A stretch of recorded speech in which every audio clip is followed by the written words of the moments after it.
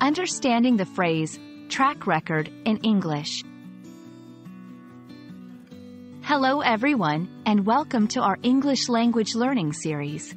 Today, we're going to dive into a very common and useful phrase in English, track record.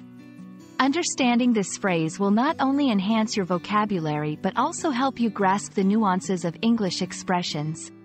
So, let's get started. Track record is a phrase that originated from sports, specifically from racing tracks where the performance of athletes or horses was recorded. In today's usage, it refers to the past performance or achievements of a person or an organization. This phrase is often used to indicate reliability or consistency based on past results. For example, a company might be said to have a strong track record in customer service, meaning they have consistently performed well in this area over time.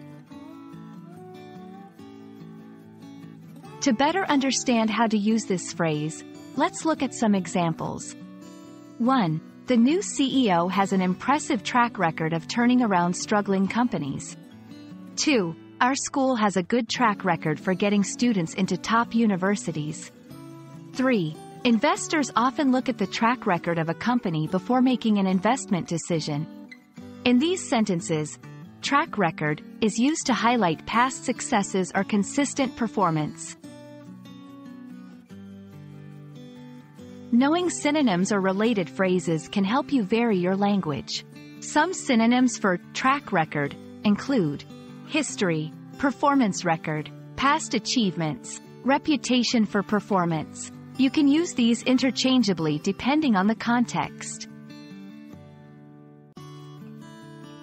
When using track record, avoid these common mistakes. 1. Don't use it to refer to future potential. It's always about past performance. 2. Be specific about what aspect of performance or achievement you are referring to.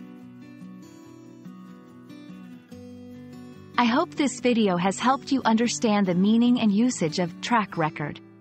Remember, it's all about past achievements or performance.